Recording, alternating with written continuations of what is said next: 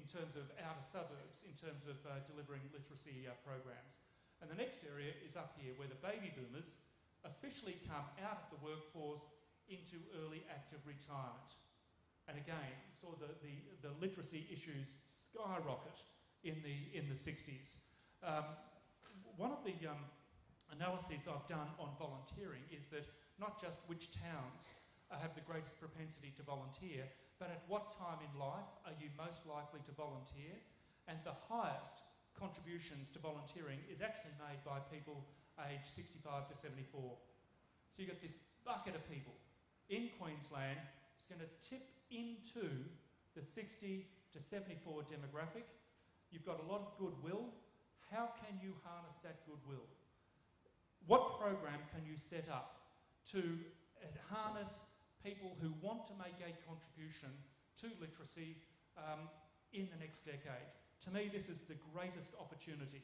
Goodwill, lots of people moving into that time in life, um, and also not just in terms of, you know, say, linking up with primary schools, but also are there literacy programs peer to peer? You know, 65 year old um, tertiary educated person in retirement looking for an opportunity to help other people in their same demographic. So, again, this is an opportunity, it's about organisation. Recognise the opportunity. What programs can we set up in order to harness this uh, as, as we move into the, uh, into the next decade? Um, in the next chart, I wanted to talk about the way in which the different age groups, the different generations, coped with um, education um, or the education skills that they had. In order to do this, I've gone back 80 years to look at life expectancy in Australia in 1931. In 1931, the average Australian lived for 63 years. You qualified for the age pension at 65, so you promptly dropped dead two years before you got a pension back in 1931. The other thing to note is that in 1931, you're a child for 14 years and then you're an adult.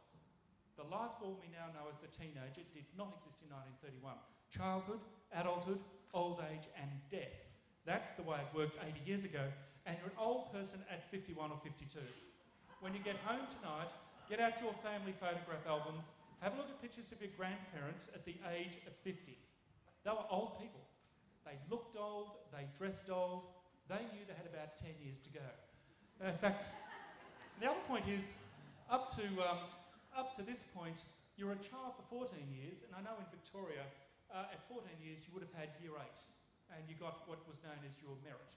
And that was enough. I mean, if you're going to work on a farm or in a factory or house cleaning or keeping or whatever it is, you did not need any greater education than eight years formal education. And then you went straight into adulthood. Um, and of course, no need to save for retirement. There was no need for superannuation because you knew you were going to drop dead in the workplace. So, uh, Fortunately, that is 80 years ago. 80, 40 years later, 1971, life expectancy is now kicked out to 71 years. That is six years in retirement that has to be planned for provision for either by the individual or by the state. The other thing that's happened by 1971 is that the baby boomers have come along, they've invented a transition phase between childhood and adulthood called the teenage phase in life, 13 to 19, and it sort of makes sense. You now go through to year 11 or perhaps even 12 uh, because you have a more sophisticated economy. Uh, you have office jobs, knowledge jobs suddenly start to emerge, and you need greater literacy, numeracy, skills, document skills, if you like. Um, and you're now not an old person until well into your 60s.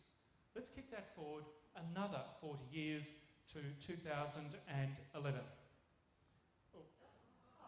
Life expectancy for the average Aussie has now kicked out to 82 years. 83 for women and 79 for That is 17 years in retirement that has to be planned for provision for, either by the individual or by the state. The other thing that has happened by 19, uh, by 2011 is that the, um, the uh, in fact, the, the average age of retirement for an Australian is now no longer 65, it's actually 58. That is 24 years in retirement that you can look forward to. Although statistically, if you make it through to 58, you've got more than 24 years, you've got about 27 years in retirement. Let's just say the last couple of years ain't so hot. You've got about 20 healthy, active years of life. what are you going to do? Sit at home and babysit the grandkids? Or are you going to re engineer that space? And the opportunity, I think, for service organisations, literacy programs, would be to write yourself into the narrative of life for baby boomers aged 58 to 78. You're a retired school teacher, you're sitting home, got nothing to do. Here is a literacy program to harness your goodwill and volunteering spirit in your early 60s and 70s, early 60s or late 60s. It's an opportunity to actually re engineer that time in life. You can be either part of that or you can just let it wash over you. What I am saying is this is a fantastic opportunity, builds social cohesion, gives meaning, I think, to life uh, beyond the age of 58, harnesses skills that may not be wanted to be used, you know, 40 hours or 50 hours a week, and I think builds community spirit and delivers a good outcome. I cannot see anything but a win-win for this, and the next decade is the time to do that. The other shift, of course, over the last decade has been Generation Y and X, who've um, reached in and re engineered a particular decade. Over the last decade, Gen X and Gen Y have picked up the teenage phase in life, they've picked it up, and they've stretched it. I think you're now a teenager between the ages of 13 and 29. All of the measures of the transition into adulthood that baby boomers make in 21, 22, 23 commitment to marriage, mortgage, children, and a career has been kicked out by Generation X and now by Generation Y to 28, 29, or 30. This changes the use of discretionary time and spending in the 20 something time in life. If you're not committed to marriage, mortgage, children, and a career, you don't need to be in a three bedroom brick veneer on the edge of town.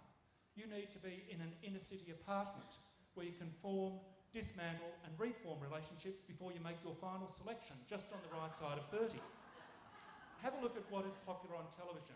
Out with neighbours, in with friends, Seinfeld, Sex and the City. No one's married, no one has kids. These are tribal relationships. Form, dismantle, reform relationships. And in fact, if you look at the driving force behind this, it is a postponement of commitment to marriage. In 1971, the average age at first marriage for an Australian woman was 21.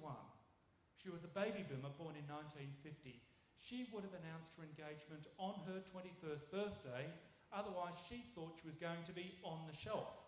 Whereas today, the average age at first marriage for an Australian woman is 29. Eight years has opened up cafes, bars, restaurants, gap years.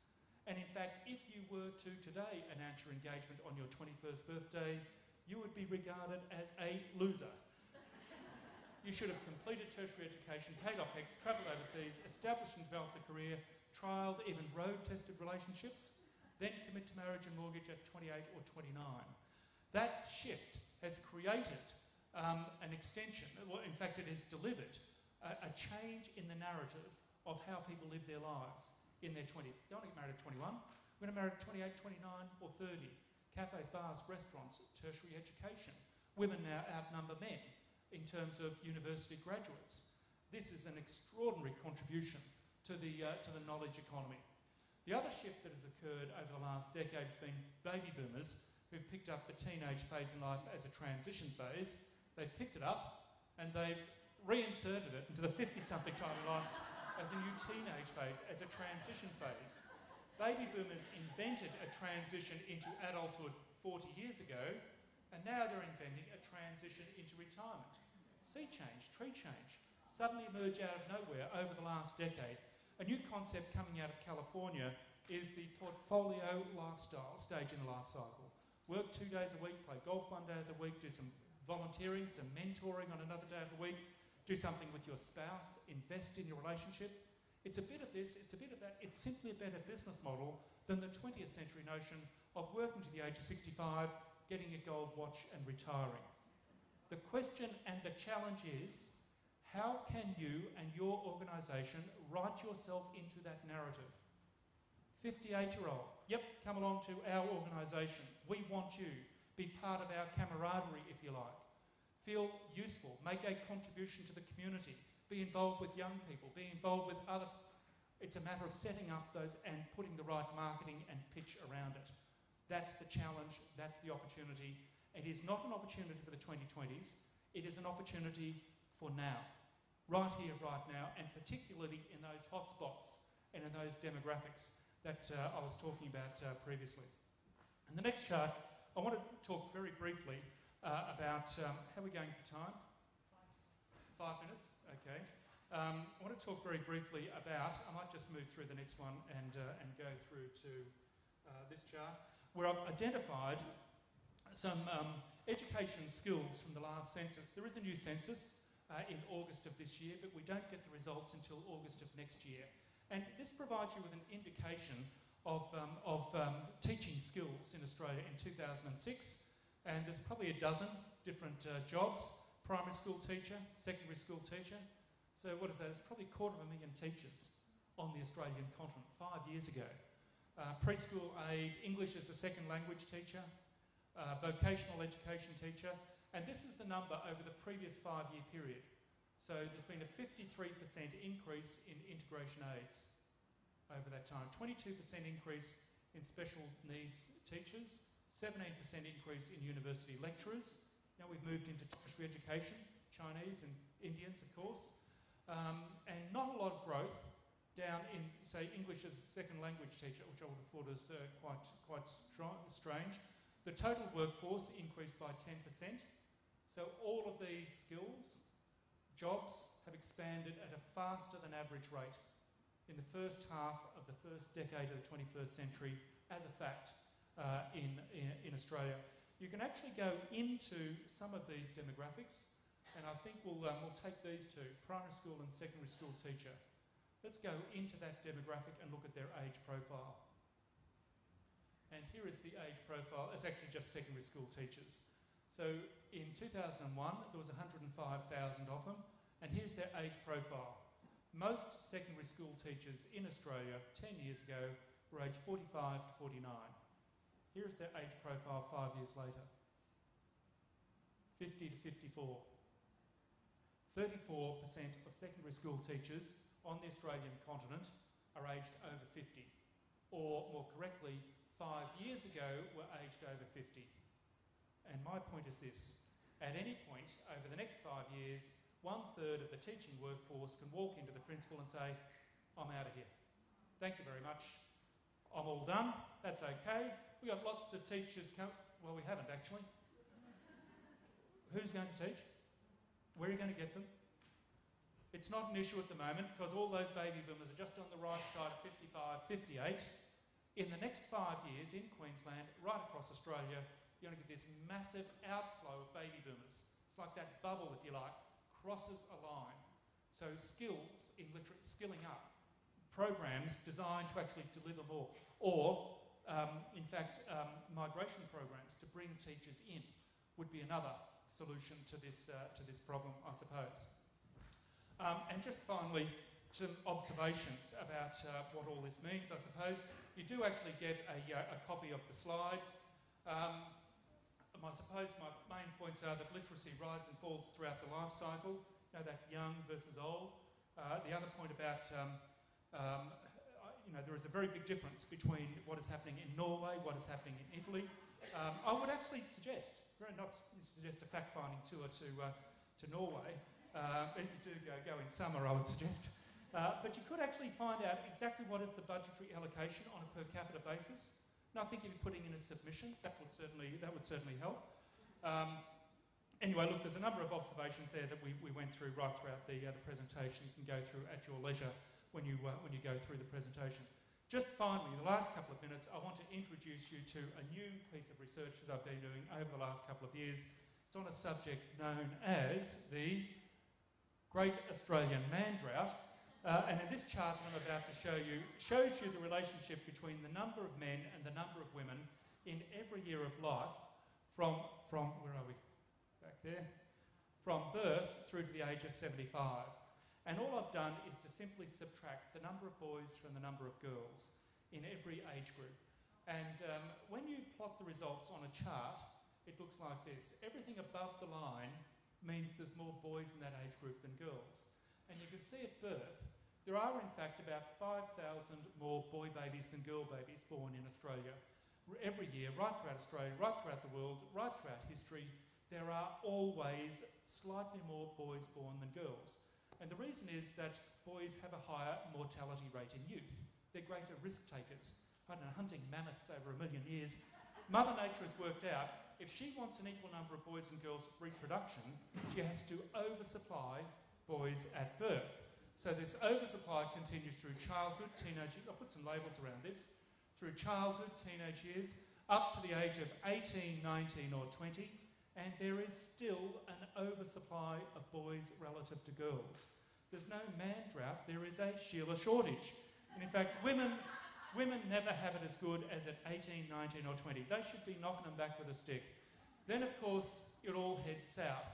After the age of 27, there is, as a fact, more women than men on the Australian continent, and it reaches a low point at the age of 35. So if you are single, female, and 35, it's not you, there just ain't the product out there. and then, of course, it all kicks back to this rocky outcrop of men at 58. So if you miss out on a fella by 27, you can always pick up an old guy at uh, 58. then, then, of course, then of course, men die off at a more rapid rate after 65, so you have widow world you can use this chart to strategically manage your love life. Women should use their numbers advantage in their 20s to their advantage. Trial this, trial that, road test this partner, road test that partner, but make sure you lock down your quarry into marriage by 27 so that you can survive the long cold winter of the man drought. For men, the strategy is completely different. No matter how good the offer is in your 20s, hold out, there are better numbers later on. And if you can hold out to 75, three girls for every boy. As bad as the man drought is in Australia, it is in fact even worse than this in New Zealand. I'm going to show you the same chart for New Zealand.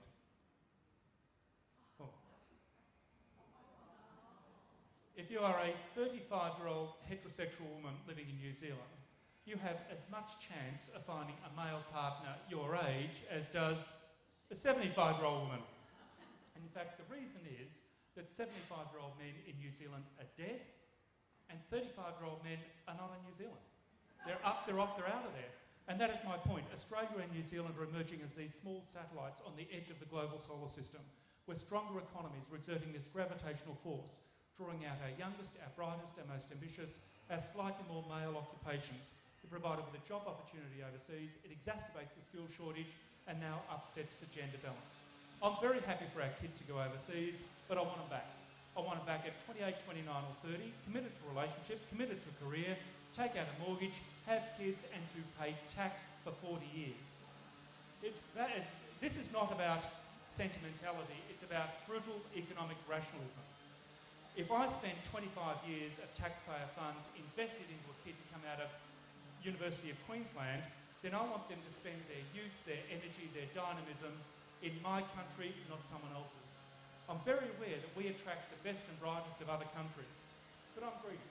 I want the best and brightest of other countries, and I want to attract and retain the best and brightest of Australians. And I also think that it's a reflection of something we thought we had got rid of decades ago a cultural colonial cringe. Oh, my son's doing really well, he's in London. Oh, my daughter's doing really well. She's in New York. Australian baby boomers get off on how far out of the country they've been able to catapult their kids. this is a measure of success in a colonial middle class society. It's a reflection on you as a parent about where in the world you've been able to catapult your kids. If you are anyone in Auckland, then your kids are not in Auckland. If you are anyone in Brisbane, are your kids in Brisbane? We need to shift the paradigm. We need to send the right messages to Gen Y. I actually write for a magazine called The Wish magazine. Uh, two years ago, they ran a feature called um, Generation Expat. And they had allocated you know, photographs of all these people all over the world doing jobs. They had a half page glossy photo devoted to a 28 year old male from Melbourne working in Florence as a barista what that says is that to Generation Y, it is sexier to be a barista in Florence than it is to be a brickie in Caboolture or Cranbourne. My view is that we need to be sending the right messages. We are equally as uh, proud of you if you actually come back and invest in our country. There's a demographer out of Adelaide, Graeme Hugo, who's done some work on Generation Expat, and his conclusion was that if someone is away for four years or more, they go native. They form a personal relationship or they get sufficiently advanced in an organisation that they cannot then get back to Australia. I see this as a big issue. This was never an issue in the 20th century. It is very much an issue in the 21st century. We are in a global market for talent, skills, and labour. And the more educated our skills and labour are in Australia, and particularly given our colonial cringe culture of seeing over there as being more exciting than back there, back here, um, I think that this is actually quite dangerous. There are 5 million New Zealanders on this planet. Only 4 million live in New Zealand. 20% of that race now float about the globe, and they ain't your average New Zealanders. Educated, skilled, entrepreneurial, lateral thinking. Half a million are actually in Australia. If the same proportion applied to Australia, it would be four and a half to five million people. This was not an issue in the 20th century, but I think it's very much an issue for the 21st. Thank you very much.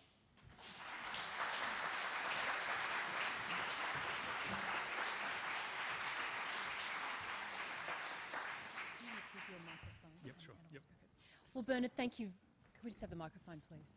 Bernard, thank you very much uh, for your fascinating talk.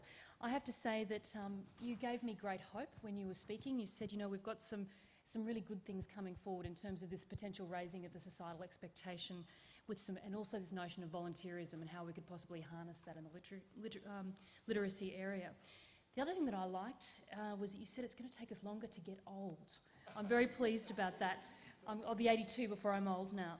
Uh, and that we'll actually have 24 years in retirement, which will be very, very valuable. So I think um, Bernard has covered a lot of material for us today. Uh, he's given us a significant reframe for what we could do in our retirement um, to really contribute to this issue. And also has given us some, some more sobering thoughts about what uh, we need to do to maintain this great nation of Australia. So what I'd like to do now is open the floor to questions. We also are accepting questions via Twitter. That hashtag again is hash SLQLLF. Um, but if I could perhaps ask if there are any questions from the floor. So we do have some roving mics around. We've got one down here. Best question gets a book. Twenty nine ninety five to the value. Bernard, uh, your, one of your early graphs of functional literacy showed a kick up, uh, what, 60 and above? Yes. And you seem to be suggesting that uh, disengagement from work uh, led to uh, a diminish, uh, a diminution uh, in uh, literacy skills. Can that graph not also be read to show that uh, the sort of suggestion that papers like to make every three to five years that there is a crisis in the school system and there was some golden age of education in the past when everything worked so much better is simply not true? Look, I, I thought it was interesting. I, I, mean, I actually thought that, uh, initially I thought that might be the case, that um, people my age and older uh, might have had uh, better skills because we were taught, you know, I was taught by nuns or whatever, um, uh, reading, writing and arithmetic. Um, but this would suggest either two things that my assessment is correct, that when people come out of the workforce, then they lose those skills. They're not using them daily, therefore, they're rusty when they're measured by the Australian Bureau of Statistics. Or, in fact, that the um, education system in the 1960s, 50s, and 40s uh, was um, less um, proficient than it was in, say, the 70s, 80s, and 90s, but not the 2000s. Now, I actually think it's the workforce engagement issue, but it's, um, it's open to interpretation. I'm putting it out there. I'm not saying that is it, but you know, your view, you know, it's a fair observation, and there would be better people in this room than myself to, uh, to actually provide that, uh, provide that assessment. But I felt it was too, if I, knowing workforce participation figures uh, as I do, you do see workforce participation easing. You know, that as people come out, you know, they might be working only two days a week, uh, and so the less engagement in the workplace you have, um, uh, literacy issues uh, rise. So whether it's a cause and effect or just you know a convenient association, I don't know. It's something perhaps we, we can look at, look into. Next one. Okay, we had another question down here. Thanks, Bernard. Um, still on that slide, it's easy to focus on where the, the graph kicks up, and it, that's a bit terrifying.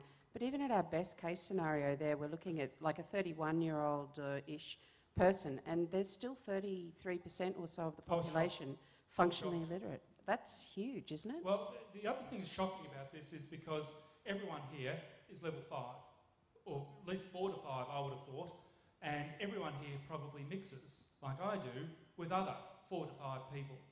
I had no idea that one third at best, one third of Australians at best, are functionally illiterate by this measure.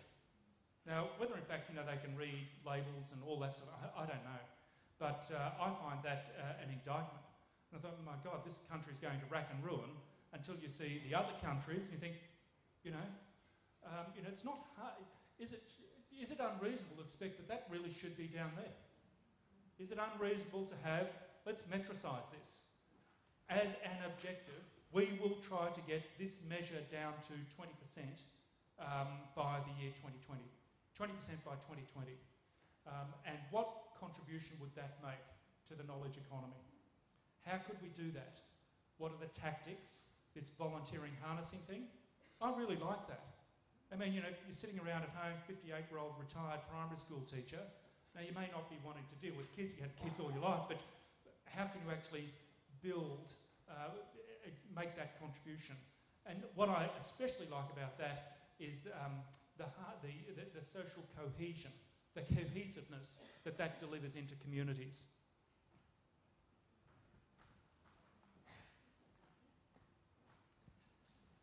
Hi, Bernard. Um, my name's Michelle. Um, I want to question whether the country is really going to rack and ruin. Um, I Whether- don't. Whether the country is. Well, whether it really is, I actually come from the arts sector, and, and one of my propositions is that um, instead of just the focus being on literacy, perhaps the combination of arts and literacy. I actually have a son in school, and um, he actually he's in last year of primary school, and he finds learning really boring. Yep. And so one of the things that I have to propose is to bring creativity back into the schools, and my understanding is that um, arts funding is actually being cut all around. Yep. And taking out creativity um, from schools is, is actually a crazy option. Um, we're just focusing on Yeah. literacy, and that can be pretty boring. Yes, I, I see where you're coming from. I'm actually a great supporter of arts and creativity. Um, and I would see great value in better funding, better focus on that. The, the focus today has been on literacy. Um, I don't see it as an either or. We're focusing on either literacy in all its forms or on arts and creativity.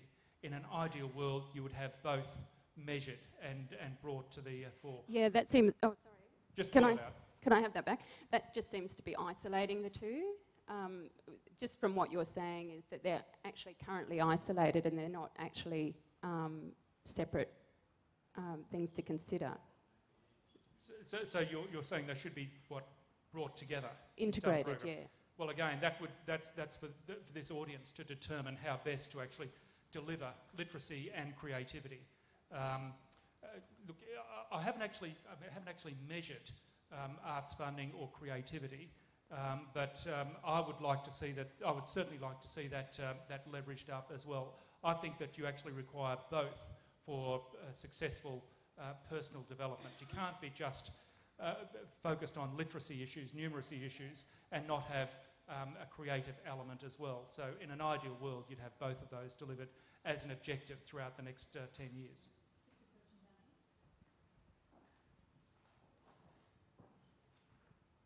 Just to continue with that, there's print literacy and there's digital literacy. Yes. And if the kids were to set the literacy tests, they'd do extremely well. Yep. And most of us would do rather poorly Mm. at the other end of the scale. And I would say all of these statistics are literacy based and therefore not very good predictors Yep. of where things are going. Uh, I think that's a fair comment. When I was doing this, I thought this is a very 2006 concept. So, um, digital literacy. You know, um, I, I never learned how to program VCR. Um, so, uh, uh, in terms of um, literacy, yes, probably a five. definitely a five. But in terms of digital literacy, no, my 20 year old kids, uh, without a doubt. Maybe the next version of this, now this is a survey that's done every five years or so, um, maybe the next version of this would have other measures of literacy, creativity, uh, and, uh, and digital uh, awareness, digital proficiency, if you like. And if digital proficiency, uh, literacy, then you might actually find the chart going something like that. In which case, the opportunity for digital literacy is still here, if you like. Just towards the So the very concept of, And then it'll of literacy is changing. That's what we're getting from both of these questions. Um, Australia is one of the few countries in the Western world that doesn't recognise dyslexia as a funded learning disability. Uh, even New Zealand recognised it in 2007 and started up a dyslexia foundation and programs in their schools. Um, do you think, for me, that's part of the reason why our literacy levels are so shocking? Do you have a comment on that? Well, I, um, I'm not across that level of detail, but I find that unusual. I find that extraordinary that that, that is not uh, acknowledged um, quite distinctively uh, within Australia. Hopefully, that that would be um, uh, remedied. Uh, but, uh, but again, I, I'm simply not across the, uh, the detail of that. Um, in terms of the comparison with the other countries, I don't think New Zealand was on the list. Um, you, you're saying that that could, that could actually impact these, um, these figures?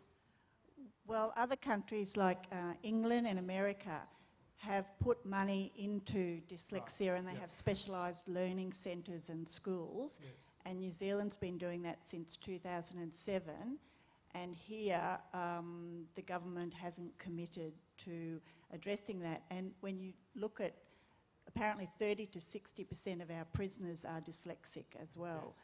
So it impacts on a huge Of range of things. Well, in which case, that's, that's clearly a, um, a, an omission, an error. Hopefully, that will be remedied uh, very quickly. So I would certainly agree with the proposition you're putting forward. Uh, I've got a question down here. And then we'll come to you there. Bernard, the question, it's a comment and a question. It kind of picks up on the comment earlier about the arts sector and the approach to literacy, I suppose. And I'm, I'm looking at the results we're getting, seeing in America from um, the kind of commentary from people like uh, Professor Zipes, saying that if we go back to more traditional literacy teaching, which America has actually done, they're not getting the results from that. So there's a concern with that when we're talking about the kind of impact of perhaps migration from Chinese and Indian uh, families who have a very structured way of viewing literacy teaching. So that's a concern.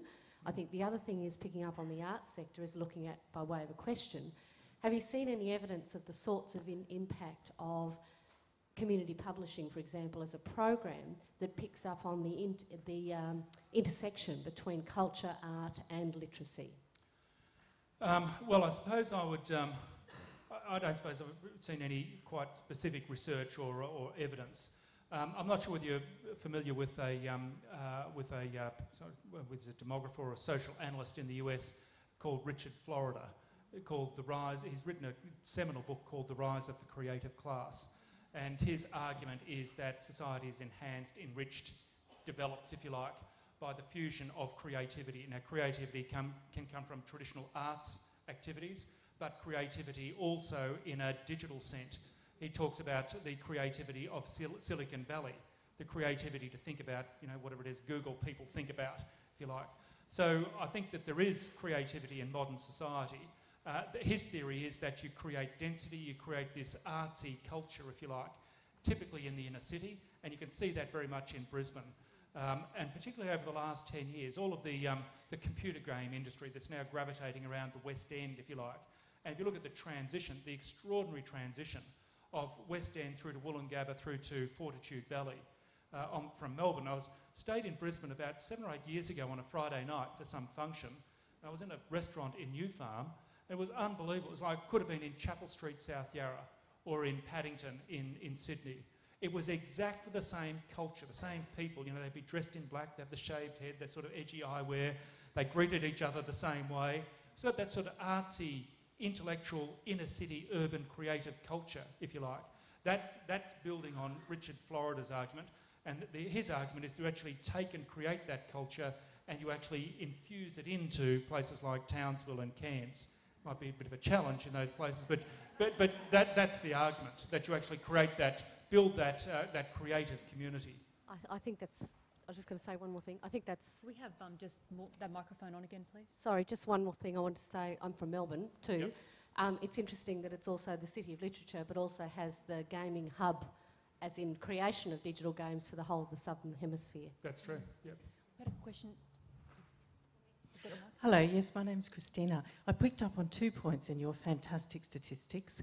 Firstly, do you think that uh, the problem that's going to occur with our young people returning home to work as professionals in their 20s From overseas. from overseas might be related to the interesting nature of our workforce and the demographics of our workforce and the existence of permanent positions for those young people. I wondered if any demographers had uh, commented on that Yeah. and done that work. And my second question was in relation to literacy, what role do you see for libraries and librarians in that taking the literacy one step further, as I see it, and the teaching, the active teaching of research skills, of comprehension, and of use of literate information? What role do you see continuing in the next uh, couple of decades for us? Oh, oh, just the second part first. I actually see a role, the way I would envisage this, and, and again, I, I recognise that there are people in the room who are better qualified to comment. I suppose I would have seen libraries and librarians as the harnessing point for volunteering programs. Um, so I, I think there's almost like a marshalling role, administ- coordinates, like an orchestra conductor. So you actually got people coming and going, and the library or community resource centres, whatever you call it these days, actually becomes the focal point uh, for a broader uh, community enhancement, uh, if you like.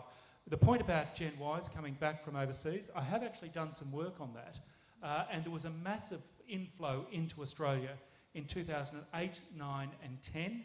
Um, people coming back, mostly men, from London, Shanghai, Mumbai, Dubai, uh, not so much because of the opportunities here, but because of the impact of the global financial crisis. I actually made the reference, the, the research in reference to um, some easing in the man drought. Uh, all these boys were coming home. So I suggested uh, you could head them off between the customs and car park at the, uh, at the airport. Thank you. It's just a suggestion, it's a joke, you don't have to. okay.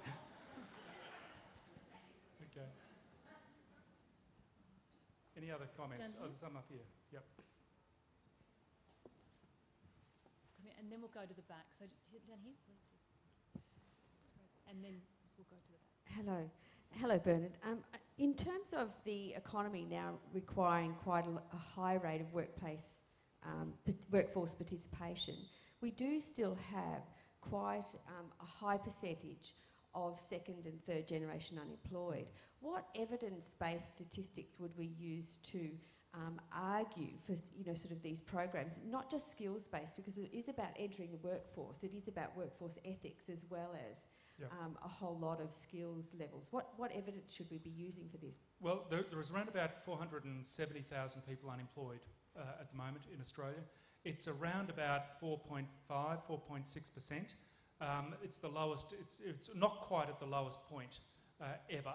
Um, there is a quite, there's an out there view that in modern society, don't say that I subscribe to this, but there is a view out there that, certainly in the corporate world, that uh, an unemployment rate of 4 to 5% is effectively full employment in a modern society. And also that the total cost of that is an insurance premium that rich countries pay to guard against revolution. So you actually say that there is a 4 to 5% population that, rightly or wrongly, fairly or unfairly, will not participate in the workforce. I'm not saying that's right. And I certainly think that there should be every effort and program made, especially in the current environment. And I know that's very much a, a government objective at the moment, as well as the disability.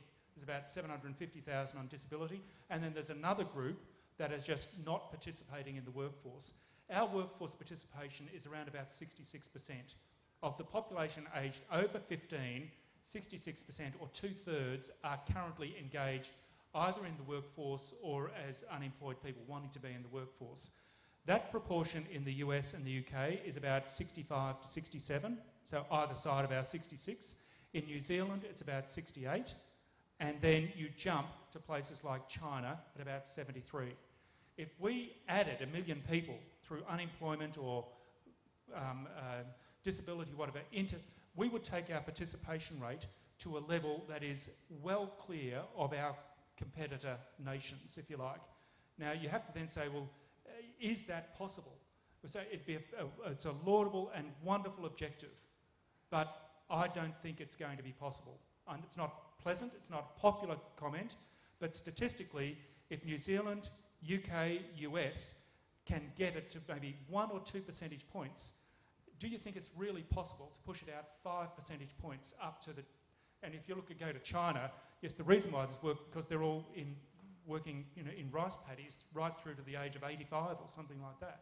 So you really, it's, it's, it's a big objective to get that level of workforce participation. We have to fight tooth and nail to get that 450,000 unemployed down even 10,000. The last 450,000 are really hard people to get engaged into the workforce. I'm sorry to tell you, but that is, that is the fact um, and, and which means we should not, not, should not not do it, but just don't expect easy results. Just a question. Hi, um, my name's Liz de Plata. I work in the area of infant mental health, and um, a lot of the my basis is about social economist uh, James Heckman's work. So, my question is really about what do you think about the view that the way to support literacy is actually to support the social and emotional well-being of families with young children because the statistics are quite clear that if you invest in the, those early years, which are not in any of those stats, I mean, we in this area, we actually have an infant toddler group before your primary, you know, your children. So your children are actually yep. split up into those groups because they're just as different as adolescents yeah. are, really, in terms so, of their So needs. your argument is investment in social cohesion, social yes. welfare, social yes. well-being, yes. social wellness, if you like, here actually improves the outcome. Yes. There. I, again, I would agree. I would agree entirely. Um, um, you know, it's a, it's a whole of society uh, uh, approach, is what I would say. And just investing in specific programs, yep, that's required. You know, to, to men and to young people and old people and rural people and indigenous communities, they're like sort of rifle shots. But, the, and, but there's a broader based thing that we can do where we can actually talk about volunteering. Yes, well, where we can talk about really uh, social well-being yep. of families, relationships, households, kids, if you like. And literacy is part of that process, really. When, when those volunteers work with those yep. families, literacy is part of the outcomes that actually comes out of that thing, as well as feeling better about themselves, which helps them to learn. Exactly. Look, there's, there's out of this, there's, there's any number of strategic directions. Uh, some of them are rifle shots, but I think others are bro- more broadly based. And the point that you have just raised is, is, is a broadly based uh, uh, approach. In an ideal world, if I was running a strategy session for a corporate, I'd say we need someone to document all, all of these, to capture them, uh, and then to actually have people flesh them out. Uh, and then who's going to do what, by when, and how we're going to measure it. And let's reconvene in 12 months and see what we've actually achieved.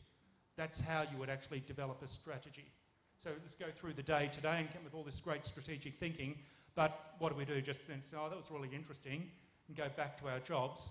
Or do we actually capture it, nail figures, people, outcomes to it, and see what we can actually achieve? We've got time now for one more question. So uh, I've got a question down here.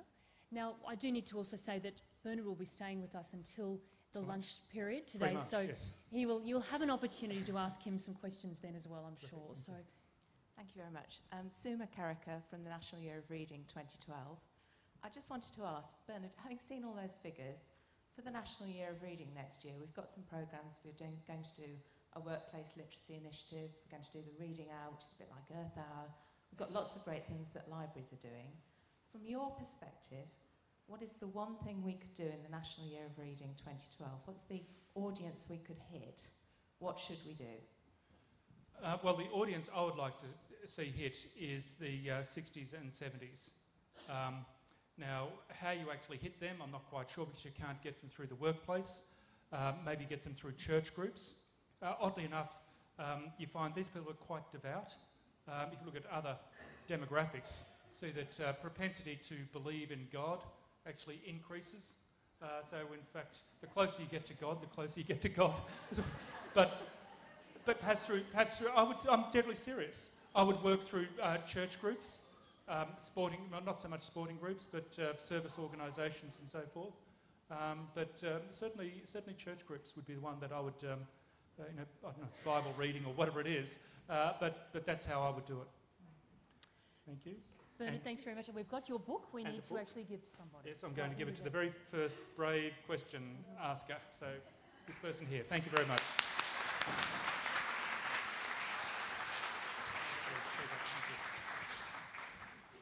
And, and Bernard, thank you very much. A very, uh, very uh, great Thank you. contribution today to the, to the discussion. So we're now going to move on to our next speaker. We actually are going to have a five-minute stretch of the legs, actually, before we move on to our next speaker, who's Deb Storm. So we're just going to get back together, if we can, in, in five minutes' time, which will be at, um, at, at five past 11. Ten past 11.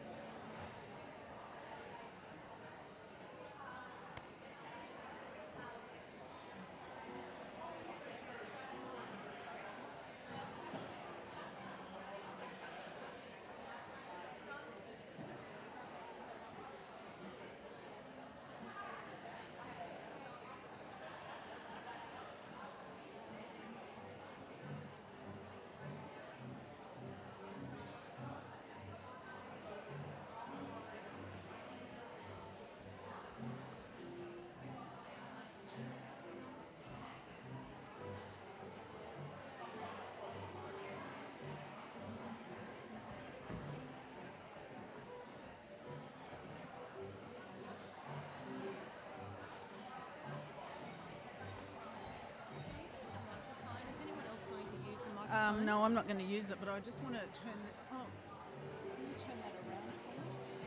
And I'm going to give that to... And what's. Is that the mouse? Or? There's the mouse on the back.